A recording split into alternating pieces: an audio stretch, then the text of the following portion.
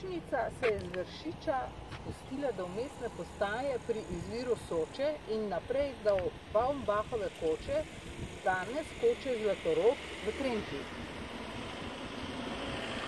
Naj podimo naprej. Povejmo, da smo v parku miru.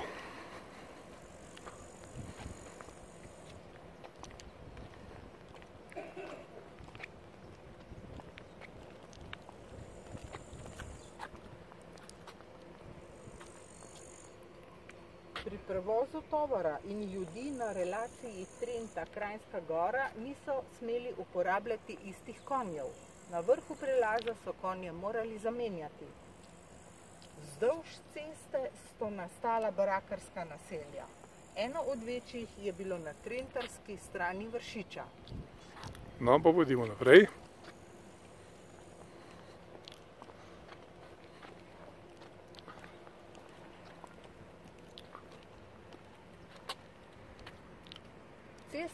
Poimenovali po poveljniku jugozahodnega bojišča nadvojvodi Evgenu. Na vrhu prelaza so nadvojvodi Evgenu postavljali velik spomenik, ki ga je kasneje odnesel snežni plas. Med reševalci ponesrečencev 16.3.1916 sta bila tudi domačina Miha Ojcelj in Jože Košir.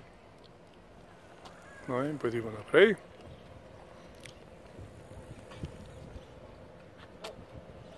Ker je vojaška komanda zahtevala prehodnost prelaza tudi po zimi, so na vrhu gradili proti lavinske galerije. Med graditelji je bil Franc Uran, ki je zapisal, da je v snežnih plazovih umrlo 110 ruskih ujetnikov in 6 ali 7 avstrijskih stražarjev. Ambulanta in poročevalska skupina sta bili nastanjeni v baraki za današnjo Erjavčevo kočo. Poročevalci so na armadno poveljstvo pošiljali telegrafska poročila o stanju na prelazu.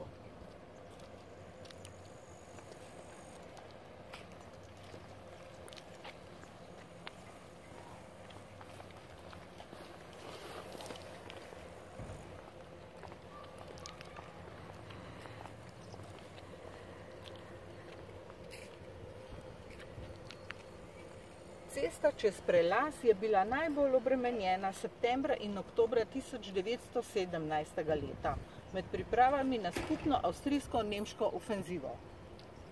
Vodja gradbišča Karl Rimmel je dal ob cesti zgraditi kočo, ki so jo po vojni preimenovali v kočo na gozdu.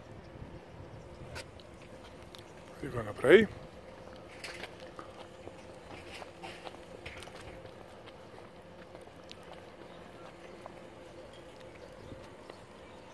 V spomin na graditelje ceste in žrtve snežnih plazov so iz lesa in ljubja postavili rusko kapelico.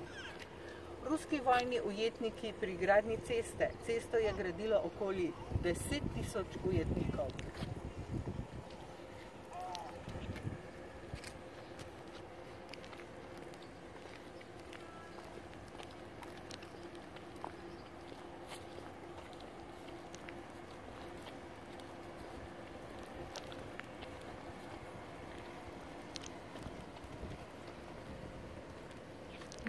Čez Pišnico je gradil slovenski inženir Bešter.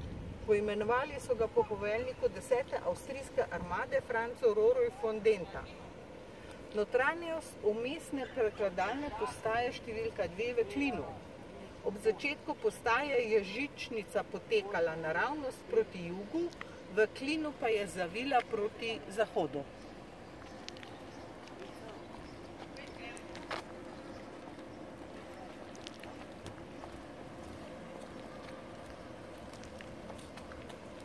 Sanitetni vlak na Krajsko-Gorski železniški postaji. Po železnici so dovažali hrano, orožje, strelivo, vojne ujetnike in vojake. Odvažali pa predvsem ranjence in ljudi z bolečimi izkušnjami vojne. Začetna postaja tovorne žičnice v Krajnski gori. Z žičnico so vsak dan v Trento prepeljali okoli 200 ton tovora.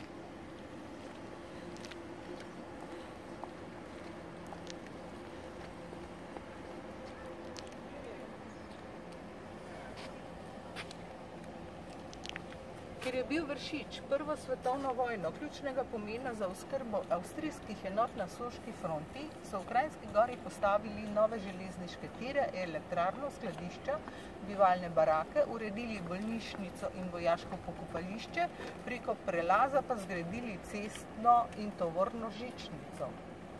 Cesto so jo poimenovali po poveljniku jugozahodnega bojišča nad Vojvodu Evgenu, mostove pa po poveljnikih posameznih enot. Vodja gradbišča je bil polkovnik in kasnejši major Karl Rimmel. Po uničujočem snežnem plazu so leta 1916 zgradili novo cesto bliže Prisanku in predor na Trentarski strani. Tovorna žičnica je potekala od kolodvora do današnje koče Zlatorok v Trenti. Kasneje so jo podaljšali do bližnice Kala Koritnica. Kot delovno silo so uporabili ruske vojne ujetnike, ki so jih nastanili v barakarskih naseljih vzdolž ceste. Umirali so zaradi različnih razlogov, največ zaradi snežnih plazov. 8. marca 1916 se je z mojstrovke utrgal plast, ki je poškodoval slovensko kočo. Tičarjev dom in tovorno, žični, in tovorno žičnico.